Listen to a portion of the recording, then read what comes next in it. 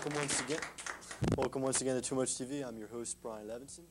Today we have a very exciting lineup. Uh, our guests include Kay Mauchly Antonelli, who worked on the uh, first computer, senior captain of the Plymouth Whitemarsh baseball team, Rob Reed, and a teacher here at Plymouth Whitemarsh High School, Mr. Ray McMahon. And I'm here now with uh, Kay Mauchly Antonelli, who uh, worked on the first computer. And uh, actually, this is the 50th anniversary of the invention of the computer, which is, uh, took place in Philadelphia. And uh, why do you think Philadelphia was the home, place, the home base of the computer? Well, the reason it was where, why the computer was built here was because the computer, as you know, was a wartime project. And uh, long before the computer was even thought of being built, the, the Aberdeen Proving Grounds of Maryland had asked the University of Pennsylvania to set up a program whereby uh, people would compute firing tables for the Army. And this project was going on at the University of Pennsylvania where Eckert and Mauchly were located. And when they saw this project going on, they uh, took up and suggested to the Army an idea that had been Mauchly's for about 10 years of building an electronic computer. And uh, the Army bought that and uh, gave them a contract to build the computer. And that's why it landed up in Philadelphia, because that's where they were. How did it feel to be working on this project? Well, uh, the computer was, although it was a wartime project and was being built during the war, it actually never saw the light of day till after the war had already ended. And uh, just, I was one of those women who had been hired to compute uh, firing tables. And uh, as the war wound down, the Army, knowing that the ENIAC was coming up, asked us uh, there were a group of five women, if we would like to learn how to program this new machine that was being built. So we did, and it was a very exciting time. One of the most exciting things about it was that the very first problem that was ever put on the ENIAC was the feasibility of the H-bomb, which was Dr. Teller and Dr. Fermi's problem from, uh, from the uh, Los Alamos project. So it, from the, the day it first started, it was exciting. Now, how do you think life would be different without computers? Well, there's no going back. I mean, you can't imagine life without a car, so it would be this, about the same thing, I think. It was, it's changing our lives in the same way I think that the uh, car changed our lives. Now, you had married uh, John Mauchly, who was one of the main inventors of the computer. Um, did he have any other ideas he wanted to pursue as a, an inventor? Oh, Mauchly always had a million ideas that he wanted to pursue. But uh, the reason that he had ever first started to uh, think about having an electronic calculator was because the speed which electronics would give him. And the problems that he were interest, was interested in was forecasting the weather. Now, I just don't mean uh, day-to-day -day weather, but I mean global weather, whether you could forecast uh, droughts or hurricanes or things of that magnitude that affect the whole, the whole earth. And uh, that was his dream until the day he died. He was still trying to forecast the weather, much better than the Weather Bureau could do, I'd say. Is there uh, anything you think that would be misunderstood about the invention of the computer? Well, there are a lot of people who don't understand exactly what the ENIAC was. And the ENIAC, uh, I think, has always been uh, sold itself as the first general purpose fully automatic electronic computer. Now, there were lots of other computers being built. I mean, it was an age when people were thinking of, of speeding up calculations or even doing, doing calculations automatically. So although computers were being built, some of them were not electronic, some of them were not automatic, some of them were not multi-purpose, any purpose. Uh, so uh, you have to really define ENIAC rather narrowly, and then you know exactly what the computer was all about. But uh, so there have been various claims laid to being the first computer, but if you describe it as uh, electronic and, uh, and uh, general purpose, then I think you get the idea that today's computers are the su true successors of ENIAC. Now, when did you finally realize that the computer would be turning into something like this? You, I'm sure you always realized it was just something like maybe a few people would be using, but when did you finally realize it'd be something that everyday use? Well, when you realize that uh, the ENIAC itself was in a room 80 feet, it was actually a machine that was 80 feet long And that was my first exposure to an electronic calculator. So it was hard to envision at any time then uh, what the desk calculator would be like, a desk computer would be like. But uh, Mauchly and Eckert went on to invent UNIVAC, uh, which was a very much smaller machine, but did 100 times more than the ENIAC did. So you see the idea of miniaturization was already there from the very beginning, but uh, we just, they had electronic tubes were about five inches in size, which got replaced by a transistor, which is about a quarter of an inch square. And in no time at all, a handheld desk, uh, handheld calculating machine could do as much work as the ENIAC itself could do. Okay, well, I'd like to thank you for joining us here on Too Much TV. Yeah, thank and, you. And uh, we'll be back after this break.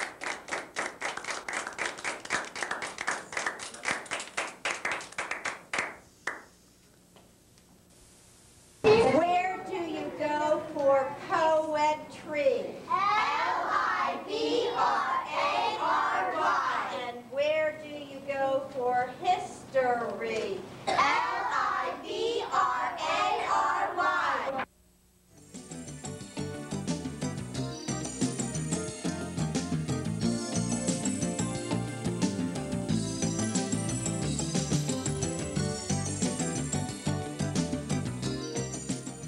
Check them out.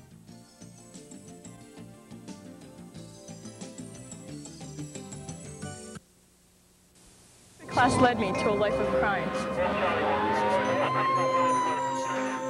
I catch murderers, rapists, and thieves with a microscope. Help your daughter become a scientist. Instead of a tea set, get her a chemistry set. Look at the boring job I got from being a science nerd. Expect the best from a girl. That's what you'll get.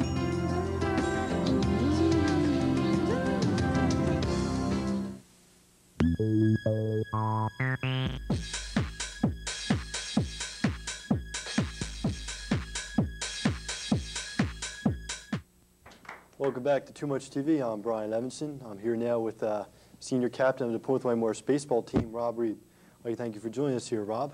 Thank you. Okay, uh, you know, you're a dual athlete, play football, baseball, maybe other things. Um, what sport do you enjoy the most playing? Well, uh, it, it all depends on what season it is. You know, during football, I like to concentrate on football and not have to worry about my baseball duties. And, uh, you know, vice versa, you know, when it's baseball season, I don't want to have to worry about football, you know. Um, right now, um, my football career is, is finished, but uh, I'm going to miss it a lot. Um, so right now, I can just concentrate on one sport and hopefully carry that through as far as I can. Now, let's start with uh, football. Uh, once again, Plymouth White had a terrific season, Mhm. went far into the playoffs. Uh, what do you think can be attributed to that? Well, the one thing that was that stood out in my mind was the way that the team worked together. You know, everybody was backing each other up. You know, uh, everybody was helping each other out, and you know, if somebody made a mistake, you know, they really didn't worry about it too much because they knew that they had other people backing them up and trying to get them through it. But um, you know, when, when when the team works like the way we did, you know, you end up with the record that we ended up with. So. One of the things I, I noticed was a lot of personalities on the team, a lot of characters, uh, probably Oh, yeah. molded together, made a more comfortable atmosphere, Well, there was a lot of to play, clowns. A lot of clowns. including yourself. Uh, not well. Sometimes, not really, but uh, it. okay. Uh, what do you think uh, is your most memorable, uh, memorable moment from that season? I'm sure you're going to remember a lot of things, but I'm sure there's one thing that sticks well, out. the one thing that stuck out in my mind was the. Uh, well, obviously the CB West game because they haven't been shut out in 12 years since uh, I can't remember when they said it was like 80 or something. Um, you know, obviously beating CB West was phenomenal. Um, moving on in the state playoffs was was uh, you know was fun, and playing against a kid like James Mungro from East Stroudsburg. I mean, you were there, you saw him play. Unbelievable. The kid is, I mean, it's amazing, you know, and hopefully, you know, five or ten years from now, I can maybe watch him on television and say that I played against him. You know, maybe I took him down a couple times, but Maybe a couple times you missed him, too. a couple times I missed him too, exactly. Um, but the one thing that stood in my mind was, uh, you know, every day in, every day was in and out. You know, every day we had to go out and practice. We, you know, I felt like I was with the same guys for at least four months. It all started in August and ended in December. I mean, that's a, it's a long season, and uh, we had a lot of fun. Now, uh, moving on to baseball, which is probably your more dominant sport, would you say? Uh, yeah, I, I played baseball a lot longer than I played football. Um, you know, two years ago when Plymouth Whitemarsh won the uh, state championship team, that must have been, Well, you know, like phenomenal. Like how Yeah. did, how did it feel to be on it? You know, Well, one of the top 50 teams in the country.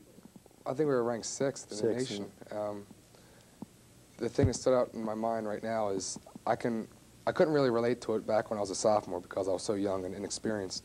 Um, now that I'm a senior, I can I can really relate to that because I know that the, the competition because I didn't really play as a sophomore. The competition now is just um, it's unreal. You know, everybody's out to to beat you. Everybody out, is out to know play good against you, and you know you you have to you know live up to what you're expected to live up to be. And um, but now, I mean, I, I didn't realize how much work went into going 26 and 2 in 94. It was it was a lot, but once again, it was it was one of the memorable moments. You know, I can always remember, you know, staying in hotels, getting out of school at 9 o'clock in the morning, going, taking buses. you know, I mean, I'll always remember that. All the stuff we got, we got watches, certificates, hats, shirts, all kind of stuff. It was fun. Now, uh, recently, you signed uh, to play for uh, St. Joseph's University next year with a full scholarship. Uh, What made you choose them? Like better-looking girls, or well, I, well, not really, because St. Joe's is only uh, a, a, school of only about 2,500 students. Um, they don't have a football team. Um, the uh, the baseball team came in contact with me. I think it was in late February. They the, the coach LaChelle from St. Joe's came to school, and Coach Demito called me down in his office, and we sat there and talked for at least an hour and a half. And uh, you know, he, he offered me a full scholarship, and he was telling me all about his program and, and how they play. Um, I went home and I thought about it for at least three or four weeks. We talked with my parents.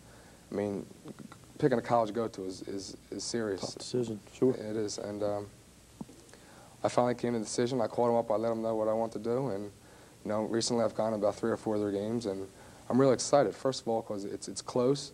Um, it, it it's a good baseball program.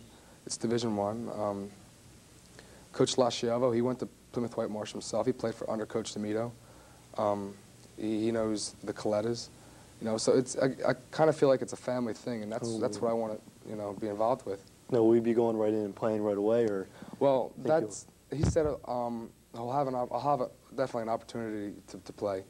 Um, he said he's not going to like you know give out scholarships to people who, who aren't going to play. Um, but he said definitely because they're losing.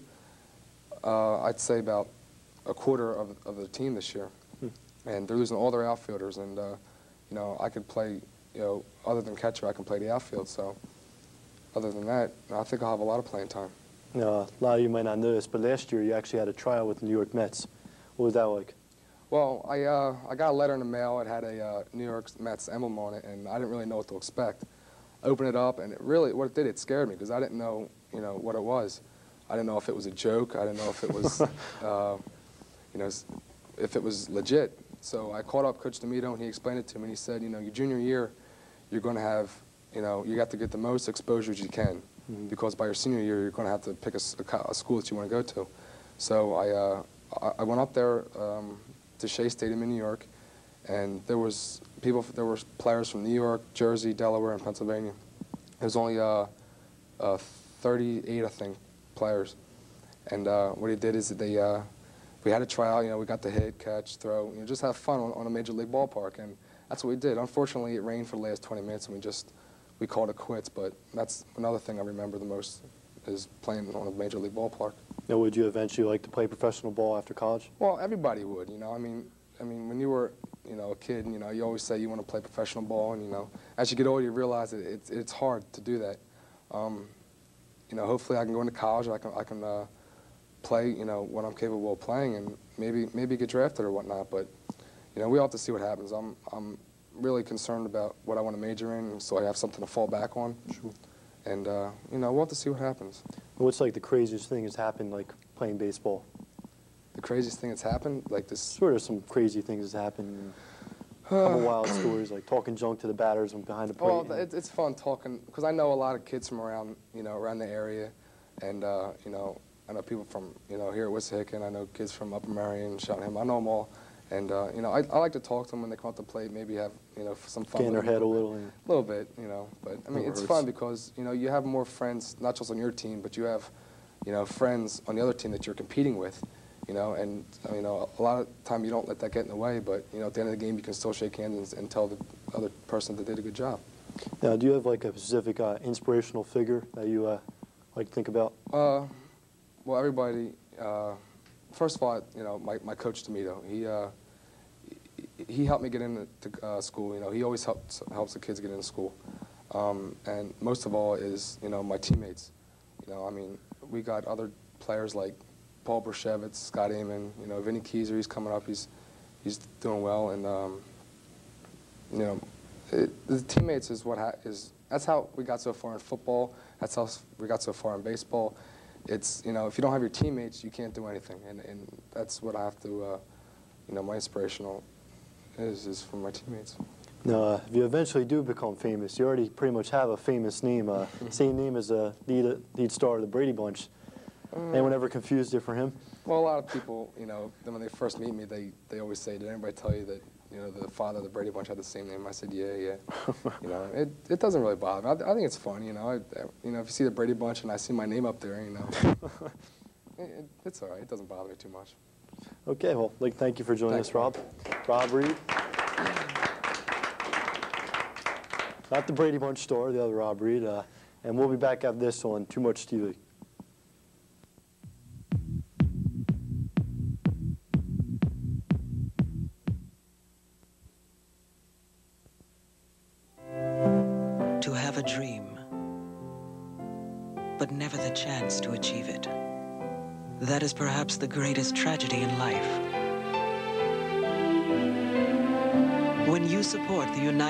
United College Fund, you give more than money. You give dreams that may have died. The power to live.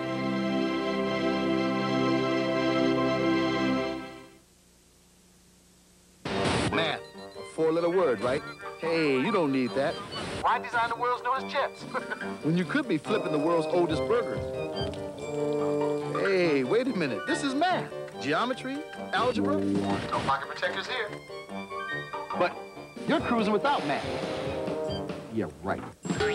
Take a good look. That's math staring back at you. It's not a problem, man. It's an answer. Call NACME. We'll tell you what you need to do. In America, you are not required to offer food to the hungry or shelter to the homeless. There is no ordinance forcing you to visit the lonely. In fact, nowhere in the Constitution does it say you have to provide anything for anybody. Thank you for all you've given. Imagine what more could do.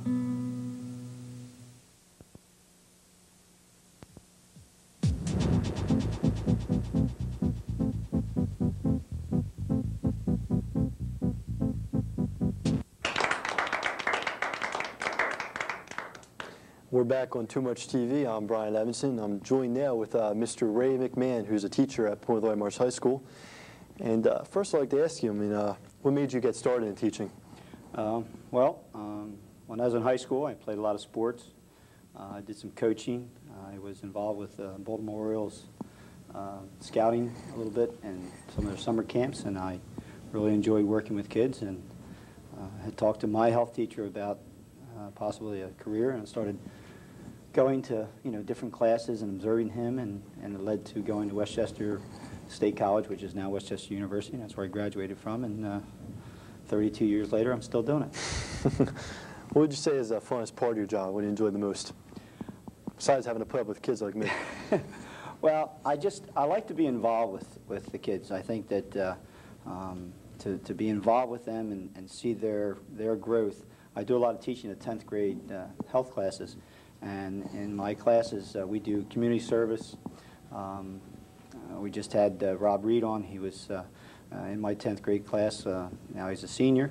We do a thing with flower babies where they have to carry uh, you know, they take a five-pound bag of flour and dress it up, arms, legs, the whole thing. It was always an interesting time in school, you know. carry it for a month with 150 kids doing that. And then I do a, um, a project with a scrapbook of their life, trying to, uh, you know, go back through their years, let them piece together what they need to do. And, and, and this is now a time in their lives where they're really going to start making important decisions. And I think that feeling good about yourself and, and knowing that you are, you know, have some goals to go to, and if I can help them with those goals and get them to go that way, that- that's what's fun for me. And, and um, I'm kind of old-fashioned in my beliefs and, and try to put some of those things in there too. Now, as you said, you were uh, teaching for a number of years. Like, I'm sure you have a couple interesting stories uh, in your past.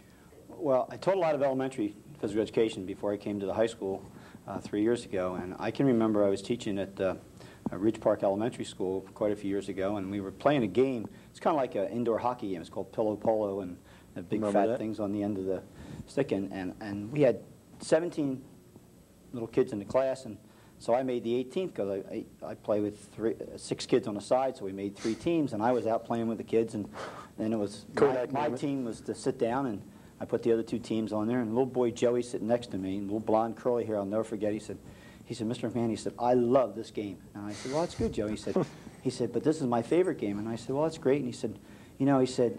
Uh, day he said, I, I want to be a gym teacher like you. And I said, and I was getting all pumped out. Oh, this is great. He said, after all, he said, I, I feel like I could do that until I could get a real job. and, and I just thought, you know, what they picture you, that I came and played games all day long. You know, I, I wasn't a teacher. I was just there to have fun. Elaborate babysitter. Yeah, exactly.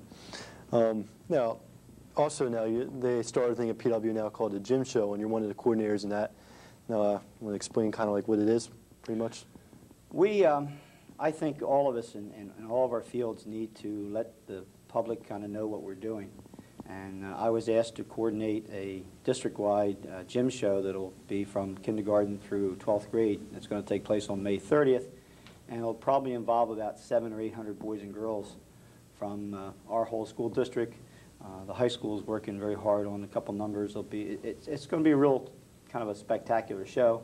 It'll be in the big gym where they hold the basketball games. So we're expecting a couple thousand people, and um, it gives an opportunity for uh, the community to understand that you know um, our physical education program is important, why it's important, and it's it's a character builder for some kids, and and I think that's what's really neat. We've got kids doing dances all over the place, and and a few other things, and uh, uh, it, it'll be pretty spectacular, I think.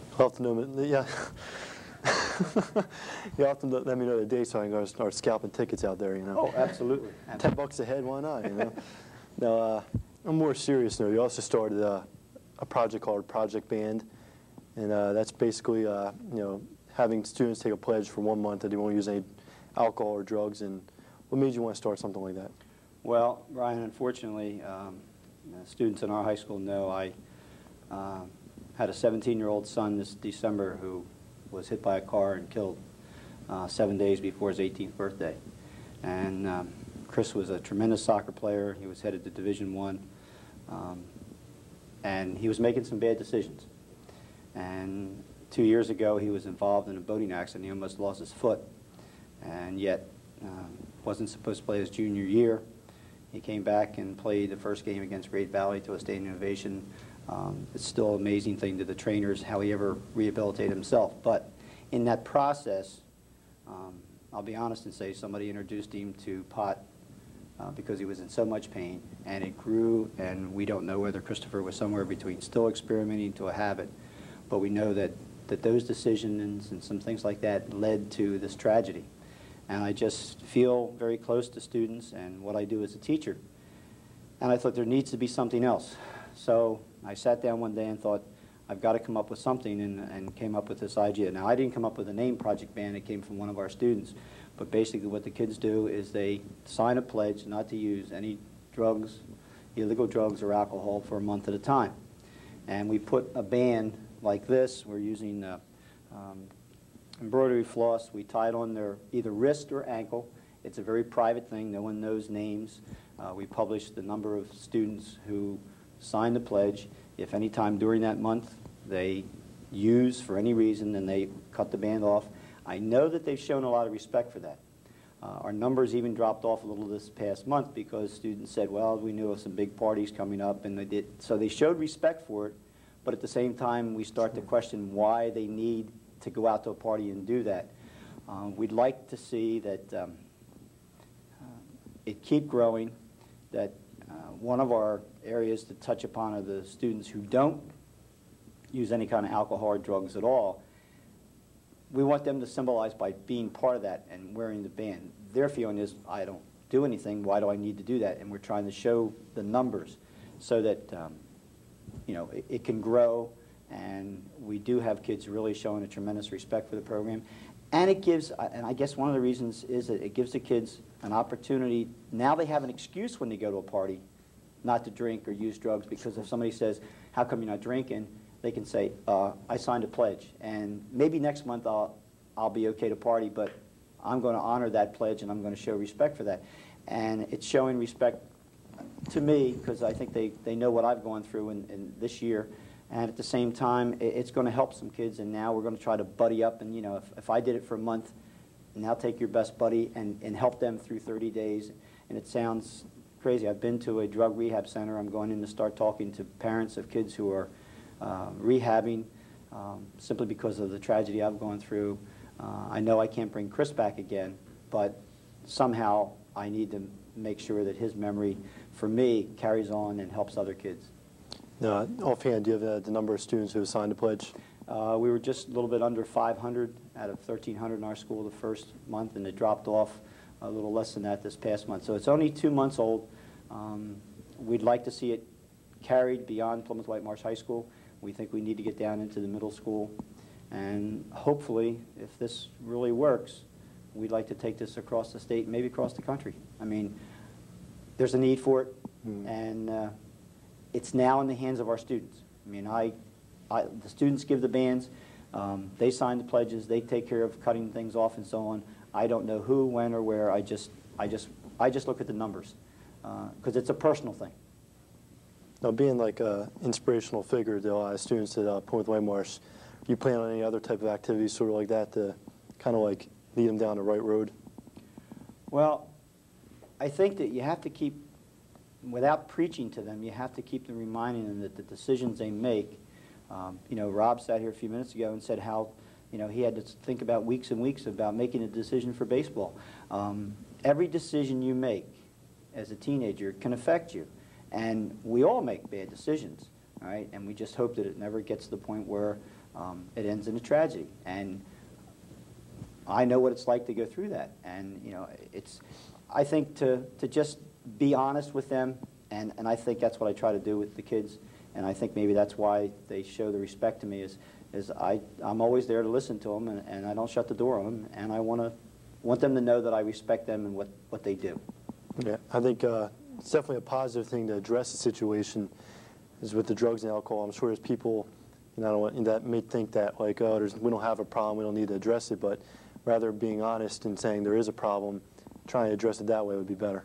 Yeah, I don't think on a, on a large scale that we have uh, a lot of kids that are running around that are alcoholics and drug addicts, but we have a lot of kids that are trying and experimenting, and it only takes one bad incident, okay, to possibly take somebody's life. Sure. And, and that's where the danger comes in. Okay, well, I'd like to thank you all for joining us. Mr. Ray McMahon. And we'll be back to close right after this on Too Much TV. 42% of all murdered women are killed by men who promise to love them. Help stop domestic violence. Call us.